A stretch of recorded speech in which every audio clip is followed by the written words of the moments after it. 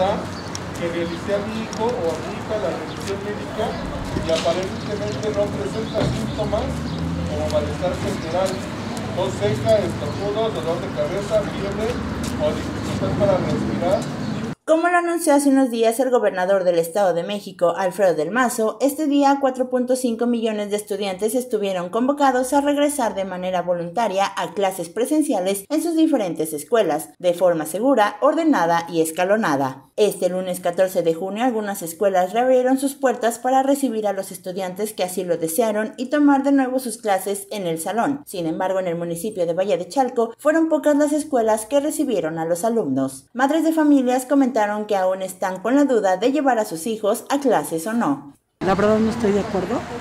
Este, ahorita nada más venimos porque tiene que hacer examen, pero en sí realmente pues no, no estoy de acuerdo. Eh, sería hasta el próximo año que yo lo traería.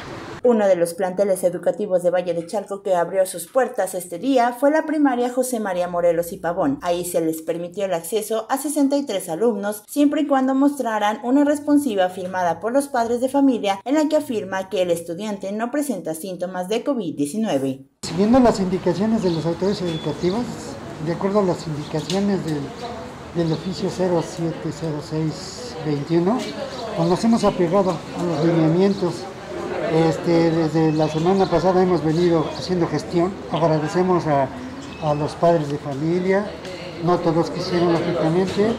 Este, le agradecemos al municipio, a la, este, oficina de educación, a la regiduría 3, que nos han hecho el favor de, venirnos a apoyar el día jueves, jueves este, viernes vinieron a hacer aseo a la, institución. Este, el día sábado nos vienen a sanitizar la, la escuela.